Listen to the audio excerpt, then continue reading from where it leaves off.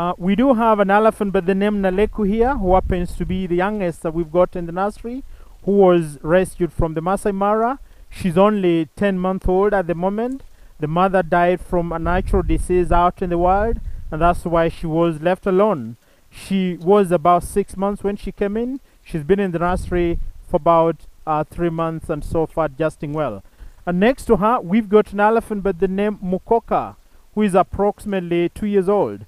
And Mukkoka was rescued from northern part of Tsavo East National Park, a place called Ithumba, identified by our aerial surveillance zone patrol who found the baby all alone within the park, observed him for some time, hoping for the mother to come back and collect the baby, but none existed. And that is why we rescued him at seven months. Right now he is two years old. We also have Tamiyoi here, and Tamiyoi is about three and a half years, second oldest that we've got in the nursery, one of the mini matriarchs assisting Tagwa to take care of the rest of the group. And Tamiyoi was rescued from Samburu. She was found fallen down a well when she was only one month, and that is why we rescued her. Right now, she's approximately three and a half years old, and anytime from now, ready to go back into the wild and start the process of being reintroduced. Second youngest is the youngest bull next to me, an elephant by the name Roho, who is about 14 months, who was rescued from Tsavo West National Park, and the mother is believed to have been killed by poachers, and that's why Roho was left as an orphan. I do have Kiombo here, and Kiombo is about two and a half years. Kiombo was rescued from the Masai Mara. He was identified all alone within the park at a young age of below a year old.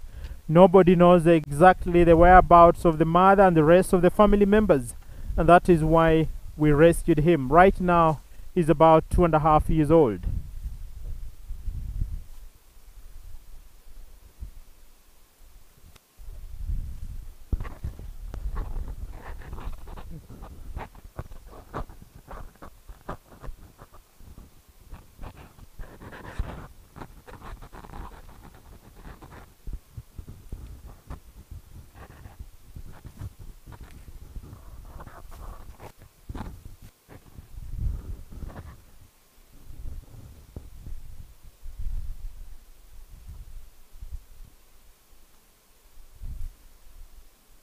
We've got another group joining us now. And uh, the one in front is called Maktau. And Maktau is about uh, two and a half years old. Maktau was uh, rescued from a Tsavo conservation area near a place called Maktau. He was found in a community all alone when he was about three months. Uh, we don't know what happened to the mother, but being found in a community suspects that he might have been separated from the family by human beings and so is a victim of human wildlife conflict. The biggest in size is Tagwa, and Tagwa is about uh, four years old. She's the oldest that we've got in the nursery, the main matriarch, the leader of the group. She was rescued from Mount Kenya forest, and this was after she had been separated from her family by human beings. She was about eight months old by then. I do have Laro next to Tagwa, and Laro is about two years old. Laro was rescued from the Masai Mara or Laro Conservancy, believed to have been separated from her family by human beings. That's why she was left as an orphan. Then behind me here, I've got Kiasa, who is almost three years.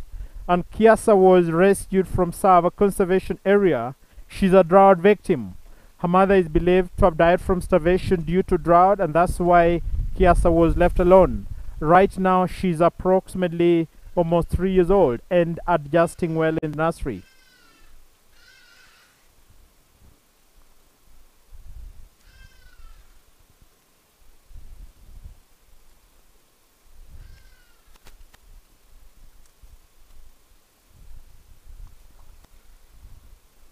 We do have Enkesha right here, and Enkesha is approximately three years old. Enkesha was rescued from the Masai Mara. She was found trapped in a snare all around her trunk, and that's why we rescued her. You might have realized that she's got an opening on the trunk which was caused by this snare. And when she came in the nursery, we called in the vets to come and stitch the trunk back to normal. A surgery that was successfully done. But after a few days, before the wound was healed, the elephant managed to take off all the stitches from the trunk. That's why you might see part of it is still open, but it's sealing well. She's also in a position to use the trunk perfectly. Since the trunk is full of muscles, she manages to squeeze the muscles together, uh, cover the opening, suck the water into the trunk, and blow it into the mouth, which means she'll be able to survive out into the world. I also have Musiara close to me, who is uh, slightly over three years, same age as Satau, uh, one of the older bulls. And Musiara was rescued uh, from the Mara identified all alone while at the age of about one month old, which is not normal and also not safe. And this is not safe because an elephant at one month does not have any teeth to browse on greens. They entirely rely on the mother's milk. He did not have the mother to provide the milk nor protection, so he was just very lucky to be found still alive at one month, and that's why we rescued him. Right now, slightly over three years, and any time from now, ready to go back into the world and start the process of being reintroduced.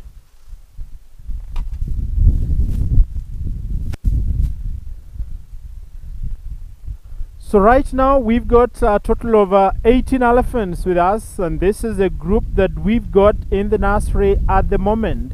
They will stay with us until the age of 3 years and any time after the age of 3 we will start to reintroduce them back into the wild slowly by slowly. That is when we take them to Tsavo East National Park and Kibwezi Forest. We've got three reintroduction centers, Umani Springs, which is found within Kibwezi Forest, Ithumba Stockades, which is found within the northern part of Tsavo East National Park, and the Voi Stockades.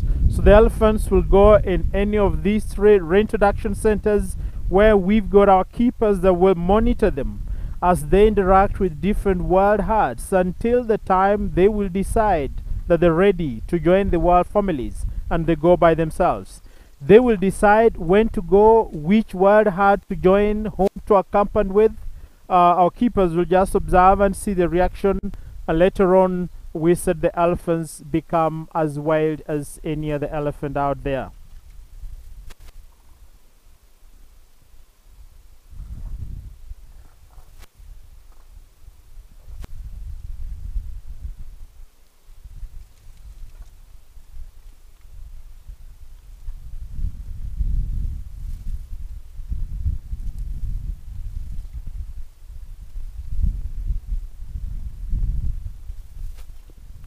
So while in the nursery, the elephants are under a 24 hour care. Uh, we take care of them all day and all night. They always have the keepers. For example, for the full day, the elephants are out with in, in Nairobi National Park. All the bushes you can see around is part of Nairobi National Park. So the elephants go out every day in the morning at 6, always accompanied by the keepers to provide protection whenever needed. So they come back for bed at 5 in the stockade, so the bedrooms where every elephant has got one room. And those elephants that are below the age of 2 years also have a keeper spending the night in the rooms. This is for the purposes of feeding them on demand and on every 3 hours, for the purposes of covering them with blankets to make sure that they're kept warm, and also for the purposes of keeping them company. And lastly, the keepers spend the night in the rooms because elephants are social animals. They always stay in groups and families wild out in the world. And we found them all alone, which means they've lost their families. When they come in the nursery, they become part of our families. And so we have to be with them all day and all night. If you leave them alone, they become lonely and stressed. They can easily be stressed to death for being left alone. And that's why a keeper has to be in the rooms at night for those that are still young.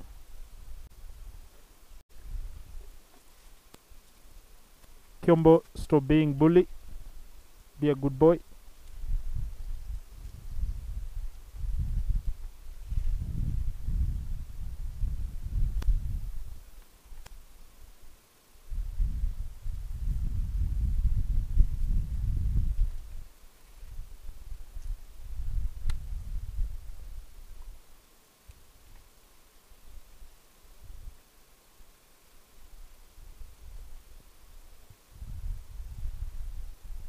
Now when the elephants come at this place for this uh, mud bath, Uh, we have a water hole for them to play.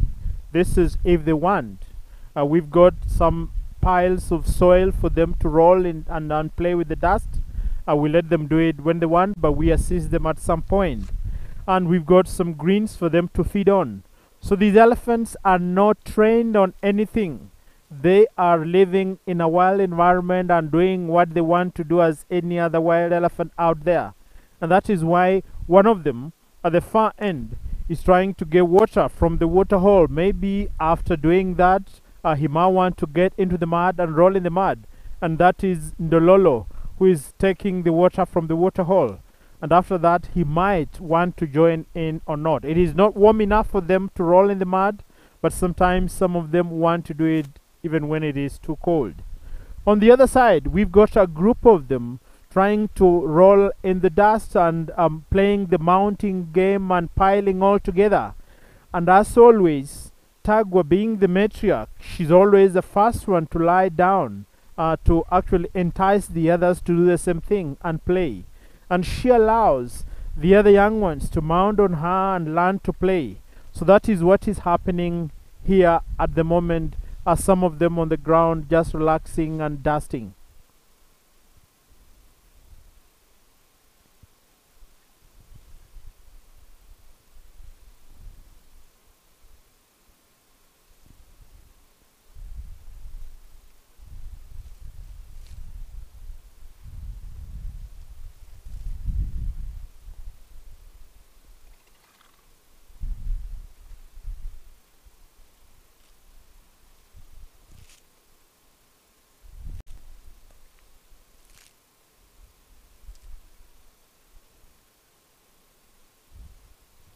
So if you're joining us now, we are at the Sheldricks Wildlife Trust, Nairobi Nursery, where we take care of orphan baby elephants and orphan baby rhinos, and later on reintroducing them back into the wild.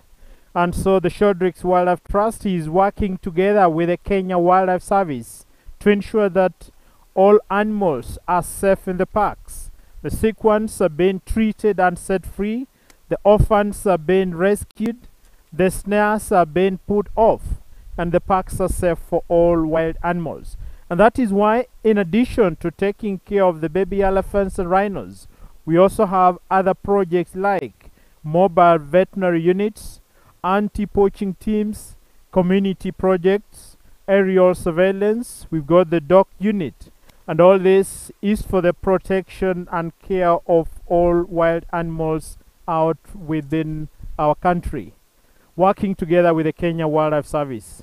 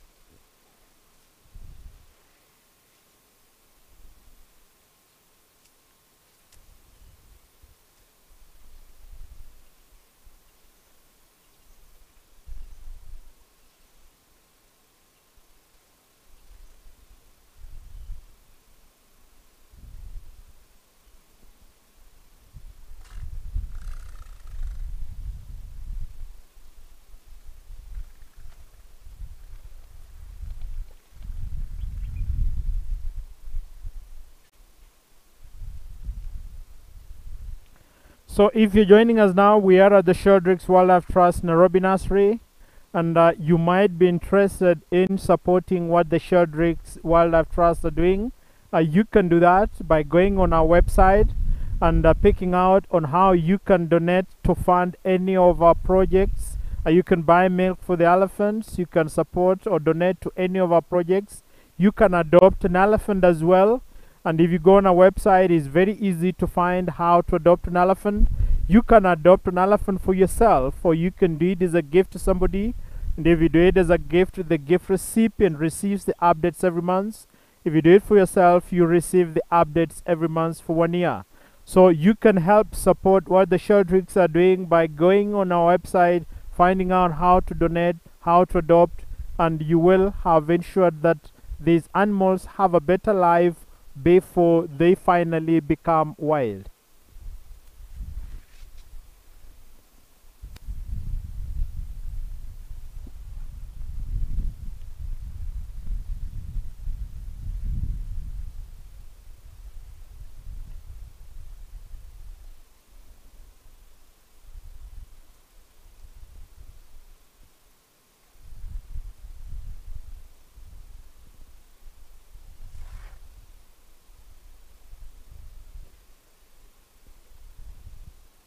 All want to roll in the dust and uh, Tagwa is right in the middle. So the others are trying to get some space to join. Including um, Naboishu the latest arrival who is joining in very well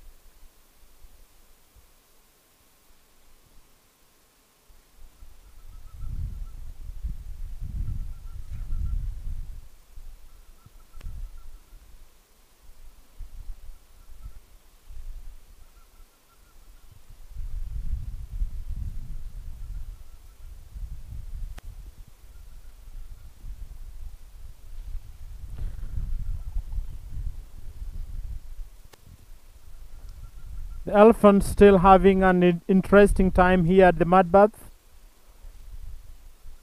Moving up and down and trying to find where they like to play most best.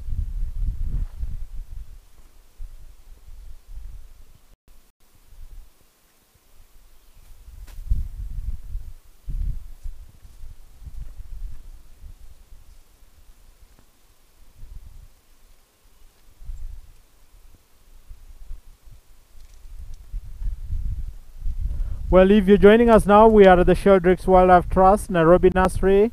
And as I've mentioned, we feed these elephants on intervals of three hours day and night. Uh, one elephant needs a keeper every day and in the night as well for those that are below two years.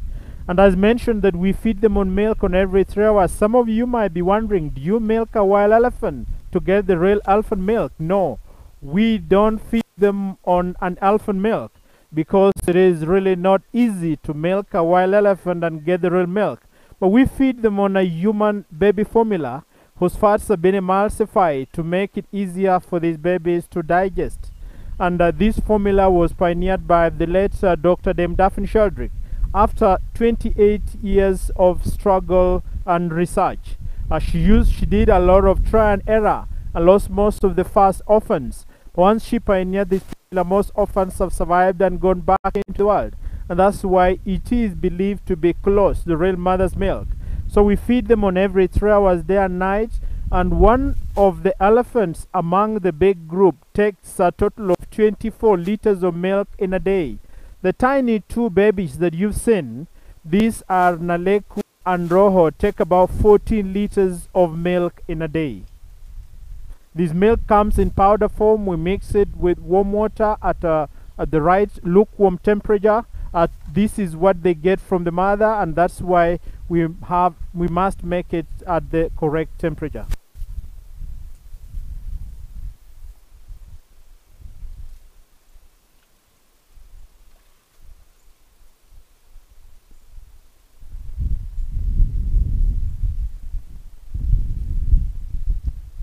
And if you've been with us from the beginning, you might have realized that Roho, one of the little babies, is always very close to Tagwa, the oldest and the main matriarch. Roho is always walking behind Tagwa, trying to. This is what happens in the world. female elephants have got very strong maternal instinct. They're very protective of the young ones, and they'll always want to protect the young ones in the family as well. And that is why Tagwa, being the main matriarch, has the responsibility of ensuring that everybody is okay, but giving priority to the little ones. We do have the likes of Maisha, uh, Nabulu, Tamiyoi, and Enkesha. We also have the upcoming matriarch Kiasa, who is also interested in taking care of Roho and Naleku as well. So that happens naturally. We don't train them, we don't tell them who should be the leader. They know that by themselves, and it just comes up uh, out naturally.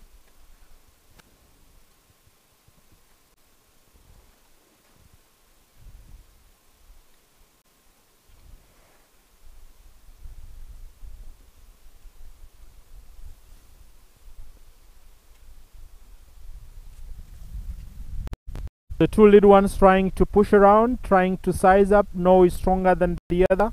This always happens with our kids at home as well.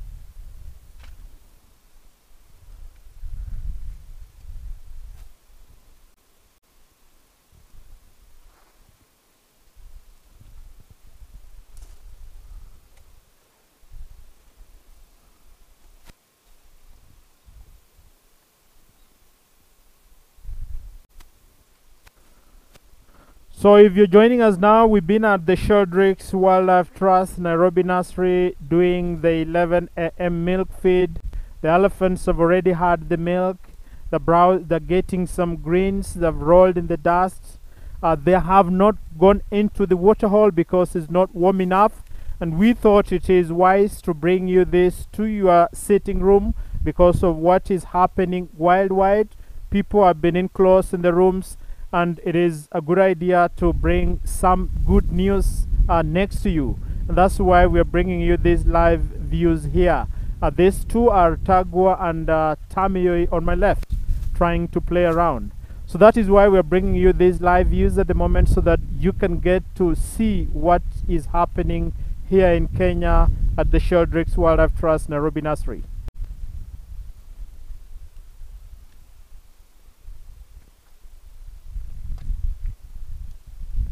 And the elephants will be leaving us going back into the park to continue with the rest of the day. As i said we set them free in a wild environment so that they can learn by natural instinct on how to behave as elephants. So they'll go back into nairobi national park and continue to browse and play and do what they want to do as elephants as the keepers will always observe and provide help wherever needed so thank you very much everybody for those of you that have been with us uh, during this live feed and viewing at the Sheldricks Wildlife Trust. Uh, we trust that you've enjoyed being with us and we'll be able to bring you more uh, next time. Thank you and keep safe.